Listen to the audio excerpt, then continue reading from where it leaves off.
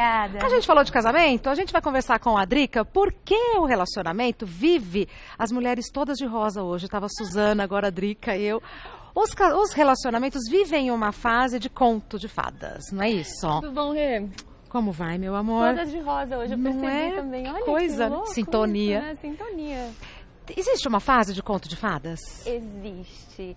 Eu quero fazer um paralelo hoje Já vou aqui. mostrar seu livro. Mostra. Faça o paralelo. Porque os contos de fadas, as pessoas acham que eles acontecem só nos desenhos, nos filmes, mas Na isso mexe Disney. na Disney.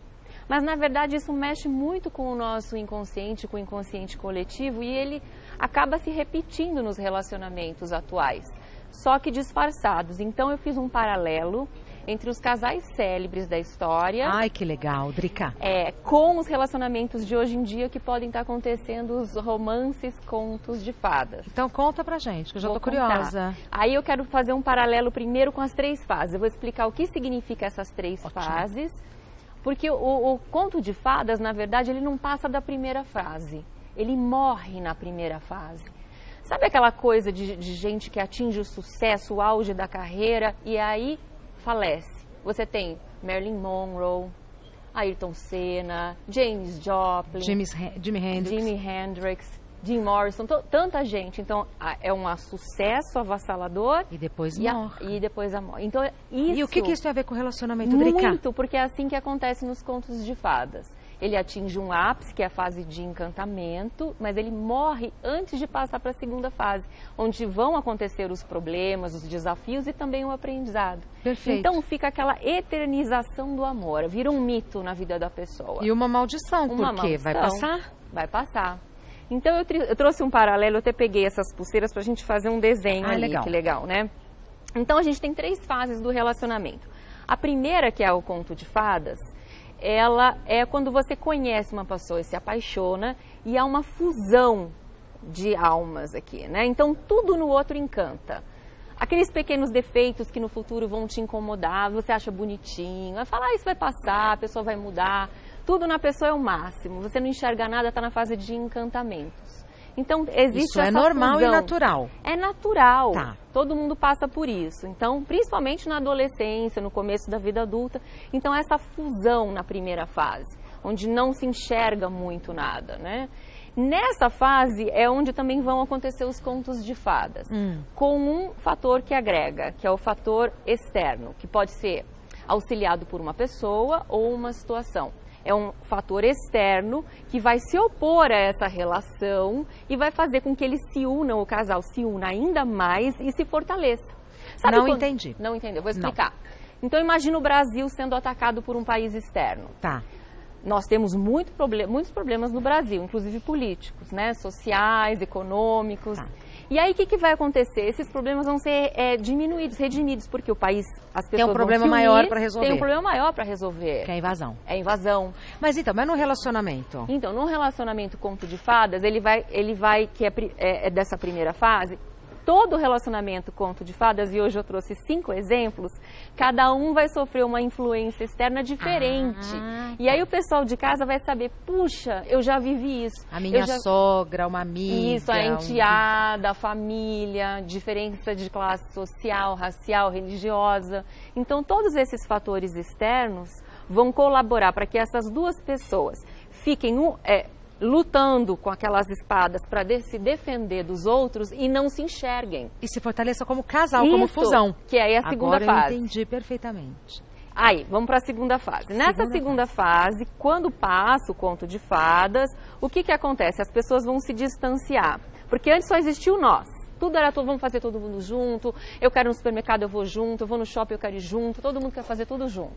Na segunda fase, tudo que você achava bonitinho no outro, passa a te incomodar. Então vocês vão estar unidos, lado a lado, mas enxergando as diferenças. Aí fala, ai, mas tudo nessa pessoa me irrita, tá cheio de defeito, deixa a toalha em cima da mesa, ela tá sempre atrasada, tudo começa a te incomodar. Ele é chato, só Ele quer é ao cinema. chato, só fica vendo futebol. Tá. E aí você fala, ah, isso aqui não vai dar certo. Isso acontece muito nos dias de hoje, que estamos em relacionamentos muito imediatistas, né? Uhum. Esse negócio da fila anda, então. A pessoa não tem paciência para passar para a terceira fase. Na segunda ela já desiste. Fala, não, é muito diferente de mim, não vale a pena investir. Mas vale a pena insistir se você já está vendo as diferenças, Drica? Então, porque se a pessoa não, não mexe com alguma coisa estrutural sua, que é isso eu ensino no livro, os seus valores próprios, a sua individualidade, vale a pena investir. Porque se você não investir, você vai largar aquela pessoa e vai atrair uma parecida ou pior. Porque aquele problema tem que ser resolvido. Tá. O outro, na verdade, nessa segunda fase, ele vai ser exatamente um espelho de você. Então, então o que eu então, critico nele está em mim. Está em você. Se você Perfeito. se tornou uma pessoa ciumenta, possessiva, insegura, são defeitos seus que têm que ser corrigidos através desse espelho que a outra pessoa só está funcionando para te espelhar. Tá. Podem ser traumas de infância, pode ser coisas de ex-relacionamentos que você acha que aquela pessoa está te trazendo de volta. E isso é a coisa mais importante do relacionamento, porque o outro te, te, te traz a oportunidade de você aprender Exato. e melhorar. Então essa é a segunda fase. Essa é a segunda fase. A terceira fase, quando isso passa e você investe, você começa a entrar em harmonia. Ah, gostoso. Ah, deixa eu só fazer um adendo. Faça. Nessa segunda fase, onde as pessoas estão lado a lado, elas também podem estar um em cima do outro. Sabe aquele relacionamento onde um compete com o outro? É como se tivesse duas pilhas, positivo com positivo. E eles são líderes, sabe? Aquela coisa de alfa, personalidade alfa. Então um compete com o outro e ele quer abafar o outro, vampirizar a energia do outro. Então um cresce e o outro fica sugado. Mas esse relacionamento vale a pena investir? Pode ser bem Não, tudo isso acontece na segunda fase. Acontece. Na segunda fase. Olha é uma, é uma fase de evolução e crescimento para se adaptar a essas duas energias. Tá. E pode acontecer o contrário, a repulsa, negativo com negativo, onde há indiferença. A pessoa desiste da outra, não se preocupa mais, não pergunta mais nada, não está nem aí para você. Então tem aquela indiferença. Então isso também pode acontecer na segunda fase. Tá. Se você está passando em casa por isso, abra os olhos. E a terceira fase é a fase da harmonia, onde a comunicação é mais harmônica e você reconhece que exatamente as diferenças do outro vão contribuir e te complementar no que você precisa. Então, se você é uma pessoa muito agitada, de repente você atrai um parceiro que é mais calmo, que pensa mais antes de agir. Nessa terceira fase, você tem que somar o que é de diferente no outro e trazer para a relação. Então, ainda existe a individualidade de cada um, o espaço que tem que ser preservado e as coisas em comum, que é eu, o tu e o nós. O que, que são essas coisas em comuns? Uh, objetivos materiais, é, emocionais e também espirituais, né, que fazem com que as pessoas consigam ver um futuro para essa relação.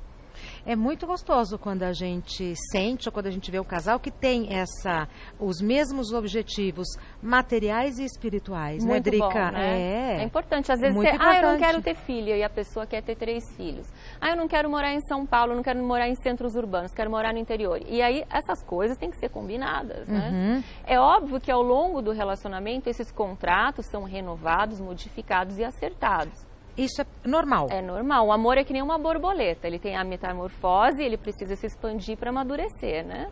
Então, quando um reclama que ela mudou, que ele mudou, essa mudança faz parte do relacionamento. Faz parte do relacionamento. Mas quando, quando o casal já passou pela segunda fase, é muito mais fácil acertar isso. Eles já estão, os acertos são bem menores. Eu acho que o, o difícil é a segunda fase onde existe essa acomodação de, de objetivos diferentes. E que vem depois de um encantamento, né, Drica? Isso. Então tá tudo maravilhoso, aí de repente vem a vida real, causa um, uma dificuldade. É, no livro, Conta. eu vou pedir para ele colocar aqui, vamos ver se ele consegue aproximar. Ah, e aqui as três fases, né? Ele consegue mostrar aqui para mim? Consegue.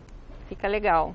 Aí dá para mostrar bem essas essa interseção, né, que aparece nas três fases. Que é esse o movimento mesmo, Drica. É, o que movimento. Você foi explicando e a gente aí a gente entende os movimentos da vida, né? Hoje em dia, o que, que você tem observado? Que os casais passam da segunda fase ou não? É, eu acho que eles desistem na segunda fase porque é muito difícil. E aí o que, que acontece? Não, essa pessoa não serve para mim, vou arrumar outro namorado, outra namorada. E aí o que, que acontece? Passa um tempo, os problemas voltam a acontecer. O quem é ciumento continua ciumento, quem é seguro continua inseguro, quem é preguiçoso continua preguiçoso. Agora, por exemplo, se eu estou no relacionamento, entro na segunda fase e desisto. Certo. Depois de um tempo cai a ficha de que, poxa vida, poderia esse relacionamento poderia evoluir para uma convivência bacana, interessante. Vale a pena retomar esse contato com essa pessoa? Com certeza. Vale a vale pena, a pena Com certeza. Se, se há vontade das duas partes, Sim. por que não? Eu gosto muito de uma expressão, é do Khalil Gibran, que diz que você é uma coluna e a outra pessoa é uma coluna, ou seja, você é uma individualidade, a outra pessoa é individualidade, segurando o teto. E o teto é o amor. Se você sai, o teto cai. Precisa das duas colunas. Só que esse amor. Muito linda a imagem. Não é bonita? É, muito linda. Só que esse amor, o que, que é o amor? O amor não existe sem a liberdade. E as pessoas é, não conseguem definir muito o que, que é liberdade, né? Boa. A liberdade, eu sinto que é, é a, o espaço que você tem para ser você mesma. De, sem verdade não há liberdade, sem liberdade não há amor. Então, essas três pilares são muito importantes.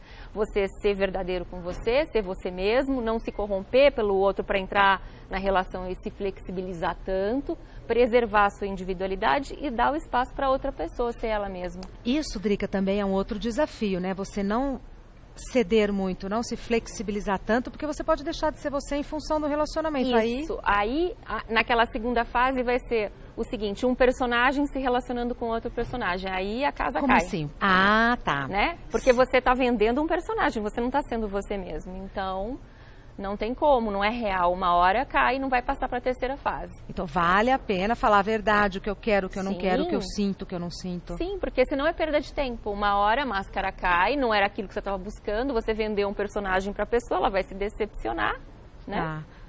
Tem muito relacionamentos de conveniência que a gente vai falar aqui nesses exemplos dos casais da história. O primeiro, vamos falar do primeiro? Vamos. Agora a gente tem que falar rapidinho, mas eu quero saber de todos. Vai. O primeiro é Romeu e Julieta, que é Tá. o mais conhecido de Shakespeare. O que, que acontece? No, no exemplo do conto de fadas, eles se apaixonam, só que o agente de fora que está fazendo a oposição para que eles se unam e não se enxerguem os defeitos que todos têm é a família. A família. Então, se você passou por um relacionamento onde as famílias se opuseram, elas eram contra, faziam essa força contrária, o que, que acontece? A tendência é que você se una com o parceiro, não enxergue os defeitos dele e lute, como eu falei do Brasil, para defender as pessoas de fora. Perfeito. Só que em todo conto de fadas, que são pessoas predestinadas para o seu relacionamento, né? Fada quer dizer destino. Essas pessoas ou morrem no final da história É ou trágico. são é trágico. Todo conto de fadas é trágico. Tá. Então o que a gente vê na Disney, né, nessas coisas de novela, a gente não vê a segunda fase, para na primeira. Acabou. E foram felizes para sempre, só que não mostra depois. Outro casal. Outro casal, vamos lá, Bentinho e Capitu, pra gente voltar pro Brasil, Machado de Isso, Assis. Machado de Assis.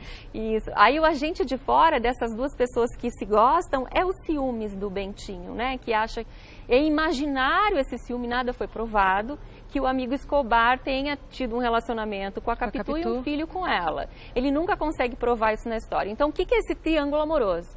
Tem casais que sempre atraem pessoas que estão num triângulo amoroso. Tem, sempre tem o terceiro elemento da história Pra perturbar. para perturbar e fortalecer a relação. Tá. Porque eles, a a pessoa fica focada em defender o de fora novamente e não enxerga o de dentro. Pode ser a sogra, o enteado, uma amante. Esse triângulo amoroso é formado como agente do conto de fadas.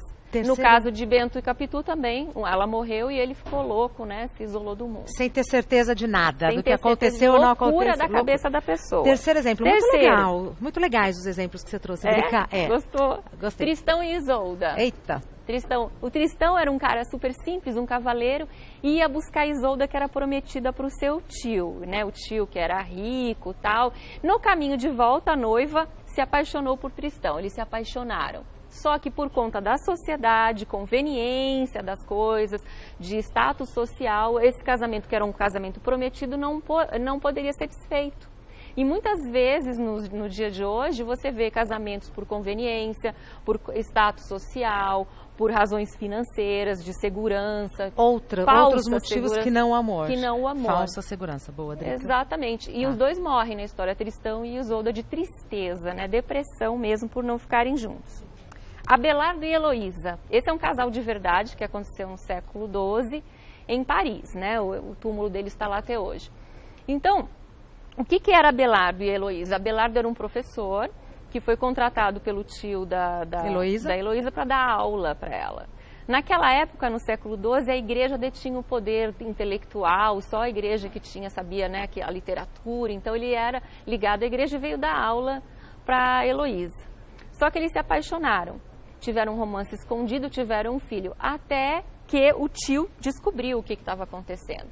Mandou castrar o Abelardo, ele foi virar monge e ela num, num convento. Então, o que, que acontece hoje em dia nesses contos de fadas de Abelardo e Heloísa?